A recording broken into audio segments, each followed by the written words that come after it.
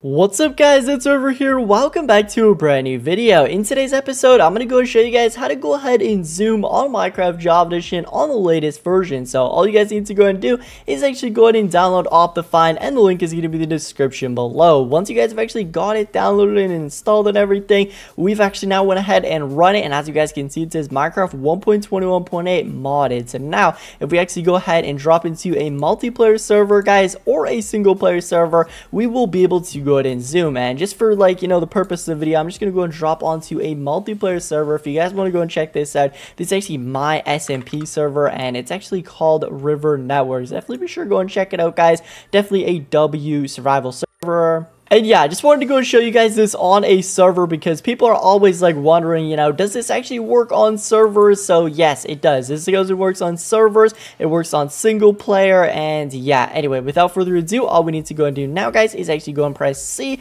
and as you can see, we're actually now going to be able to go and zoom in, guys, with Optifine right over here on the latest version of Minecraft Java, and yeah, let's actually go to try to get that wilderness dude right over there. Boom, as you can see, we can do it pretty well. But yeah, that's basically it for today's episode. I hope you guys actually have enjoyed. If this tutorial was helpful in any way, make sure to go ahead and like and subscribe today. And don't forget, guys, I'm giving away a free $75 rank on my SMP server to one of you guys at 110k subscribers. So definitely be sure to go and subscribe today. But I'll catch you guys in the next one. Peace out, everybody.